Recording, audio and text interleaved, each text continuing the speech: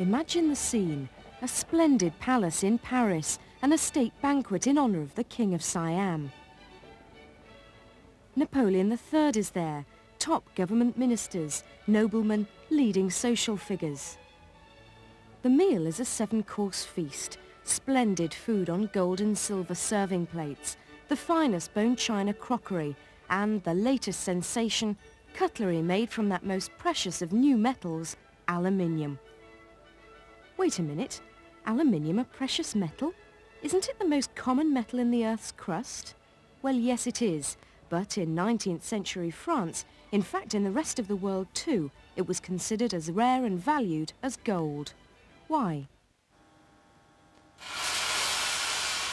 The answer is because it was difficult, dangerous and expensive to extract aluminium from its ores. In 1855, the French chemist Henri Sainte-Claire Deville had a novel idea. Why not mix an aluminium compound with an even more reactive metal and see what happens? The more reactive metal he used was sodium, and the reaction was alarming. Deville had to construct a special furnace out of brick to house the reaction. The method certainly worked. Aluminium was produced, but in small quantities only, and it was costly.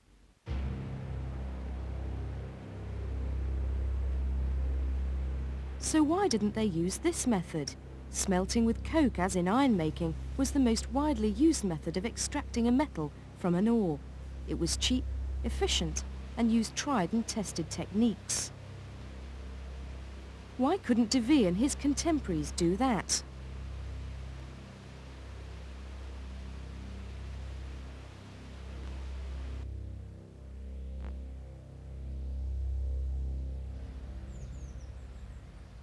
This huge industrial complex is British Steel at Redcar in the northeast of England. It houses the biggest blast furnace in Europe. The complex has its own dock because iron ore is imported here from North and South America and Australia. There is now virtually no iron ore mined in this country.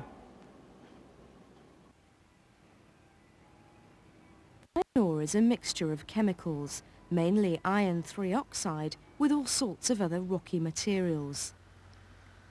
The iron 3 oxide is simply iron and oxygen combined together. To get at the iron, the oxygen has to be removed.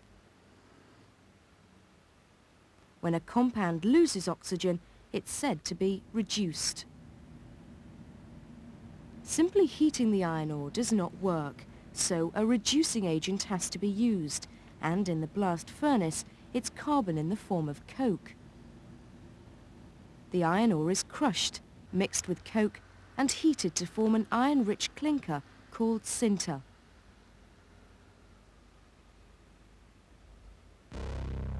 The sinter forms the basis of the charge, which is fed into the top of the giant blast furnace. More coke is added and also limestone.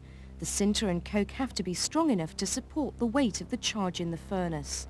So our ingredients so far are iron ore, or iron 3 oxide, with a chemical formula of Fe2O3 and the reducing agent coke, or carbon, symbol C, which is also the fuel.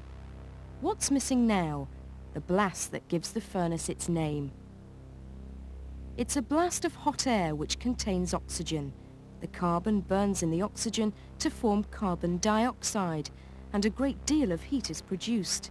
The temperature at the bottom of the furnace is around 2000 degrees Celsius. The reduction of the iron oxide happens in two stages. At very high temperatures, carbon is a very efficient reducing agent. It's more reactive than the iron. The two compete for the available oxygen and the carbon wins. Carbon and oxygen come together to form carbon dioxide and molten iron is formed. The carbon dioxide then reacts with more coke to form carbon monoxide. Both of those reactions are endothermic. They lower the temperature and that triggers a second reduction of the iron 3 oxide. Below about 700 degrees Celsius, carbon monoxide becomes the better reducing agent. there's another competition for oxygen, and again, the iron 3 oxide loses out. A spongy iron is produced, which melts as it descends through the furnace where the temperature is higher. Iron is tapped off in a continuous red-hot stream. Another product of the process is slag. This is formed by the limestone which was part of the original charge reacting with impurities such as silica in the molten mixture. The slag floats on the surface of the liquid iron and is channeled away to a big pit where it's sprayed with water to rapidly cool.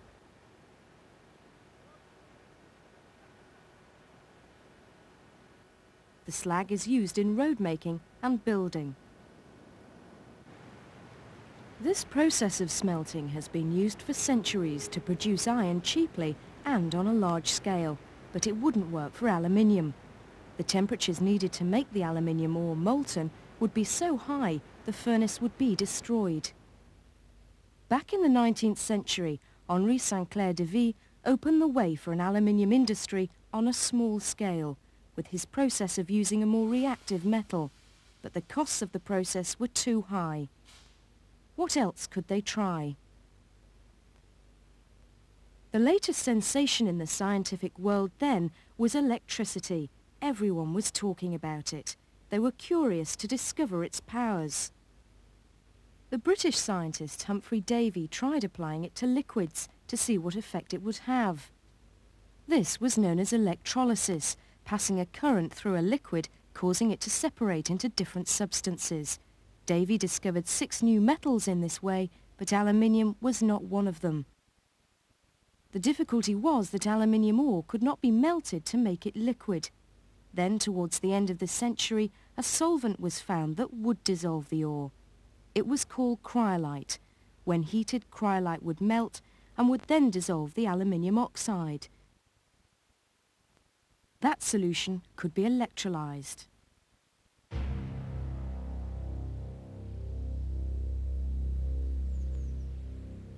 In industry, aluminium smelting requires a huge power supply. This is British Alcan's aluminium smelting plant in Northumbria, and it has its own power station nearby.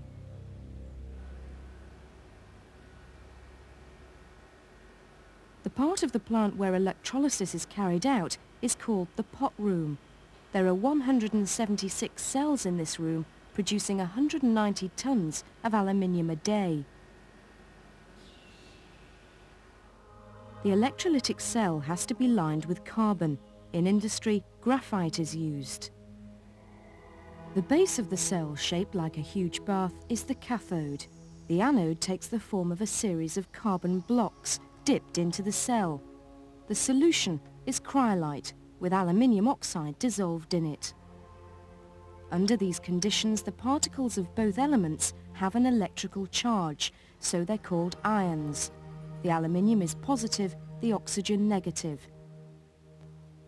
Chemical reactions only occur at the electrodes. When current passes through the solution, the oxygen ions are attracted to the anode. The aluminium ions move to the cathode. As the aluminium ions lose their positive charge, they become atoms of pure aluminium. The electric current involved in the process is very large. 150,000 amps. The heating effect of that helps to keep the solution molten at around 1000 degrees Celsius. At the anode, another chemical reaction is taking place. Carbon combines with oxygen being released by electrolysis to form carbon dioxide. This means the anode is constantly being eaten away. The gap between the anode and cathode has to be right for the most efficient operation of the cell. This man is checking the levels and will make adjustments if necessary.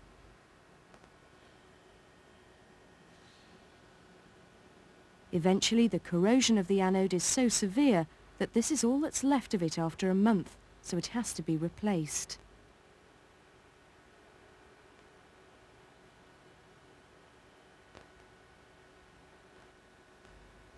The powdery crust on top of the cell is aluminium oxide. It's put there for two reasons. One, to act as an insulating blanket to keep heat in, Two, It helps to absorb other gases like fluorine, which are given off in the reactions.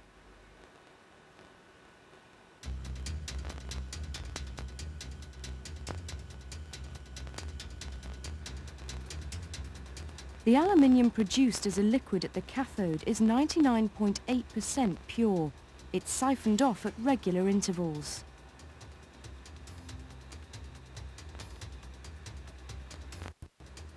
The molten metal produced contains some impurities, which form as a scum on the surface. This can be scraped off.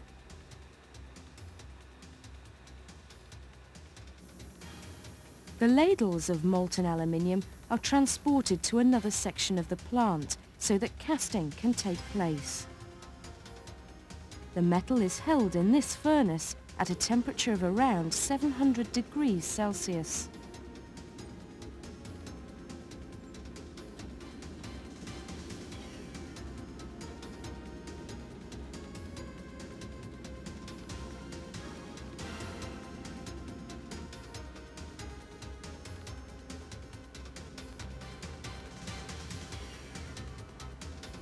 Aluminium and iron are extracted from their ores in very different ways, but they do have something in common.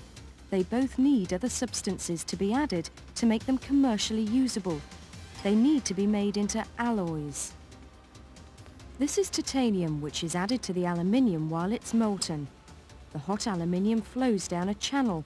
Being so reactive, the aluminium at the surface of the stream immediately reacts with air to form a fine film of aluminium oxide. Samples are taken and cast into moulds to be sent to the laboratory at the plant for quality analysis.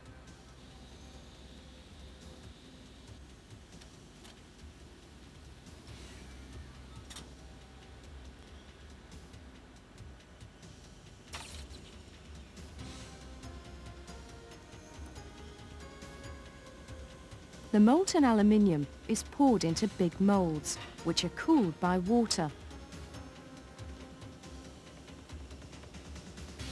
The outer surfaces freeze and the slab of aluminium alloy is lifted slowly out of the floor. This huge slab is the light, strong, brightly coloured metal that we use for so many things.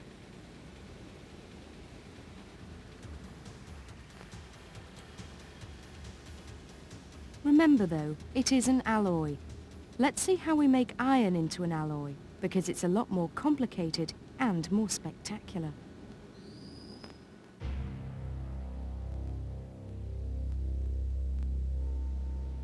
The starting point for steel is iron fresh from the blast furnace.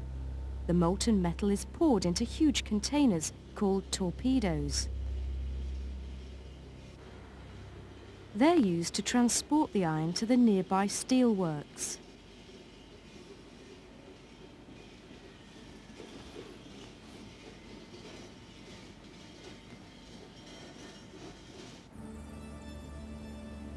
At this stage the iron is only about 94% pure and there's still quite a lot of carbon in it, which makes it brittle. Some of the carbon and other impurities including sulfur, phosphorus and silicon have to be removed.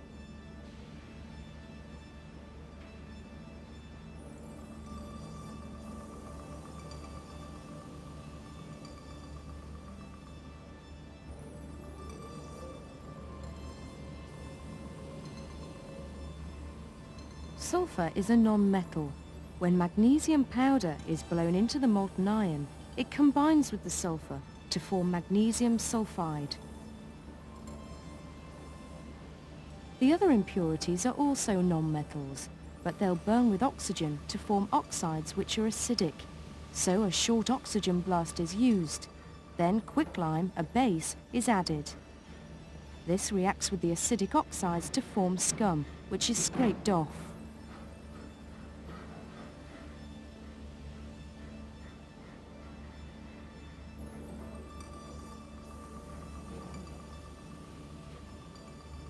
This huge ladle, which contains 230 tons of metal at a temperature of more than 1000 degrees Celsius, is lifted to another section of the plant.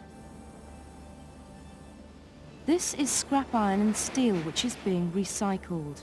It's the first thing to go into the converter, the vessel where iron is converted into steel.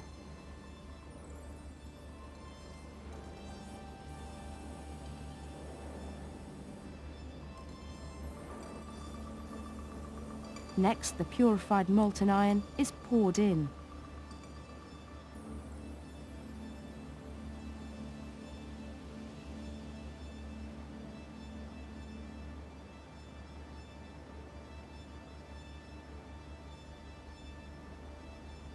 The scrap melts in the intense heat.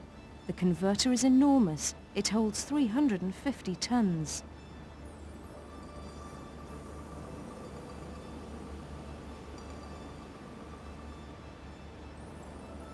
The next step is to blast in high purity oxygen. Once again, the sparks fly.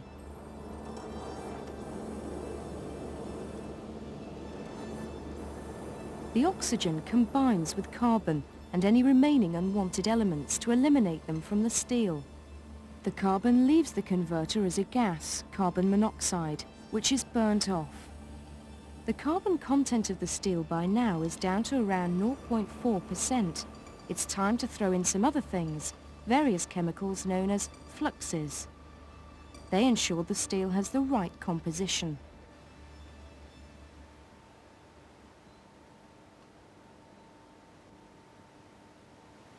At this plant, steel is rolled out into slabs. The outer shell has solidified, but the inside is still molten. It's cut to length with powerful gas cutters. The slabs are stacked ready for transportation to other plants to be made into beams, columns and plates. As we've seen, iron and aluminium are extracted in very different ways. But there's one more thing they have in common.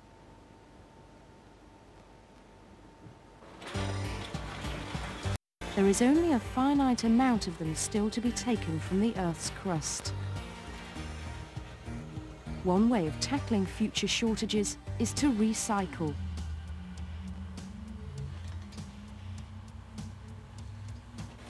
As we've seen, steel is now reclaimed and put back into the steel-making process.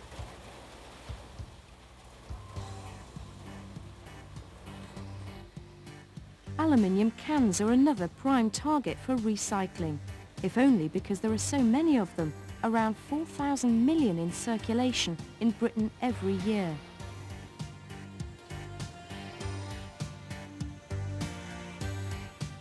There are many advantages to recycling. For a start, there's a lot less metal rubbish lying around the landscape. Raw materials aren't used up as quickly.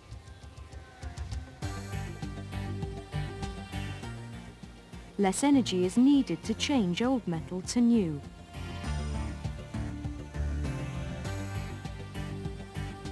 In so many ways, recycling preserves precious resources.